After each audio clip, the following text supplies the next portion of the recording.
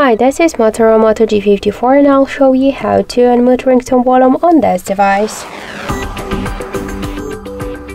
So first open the settings application and then tap to the sounds and vibration. To unmute ringtone volume, we should just slide to the right side this dot with your finger on the ringtone volume panel. And that's it. So thank you for watching and if you like this video leave thumbs up and subscribe.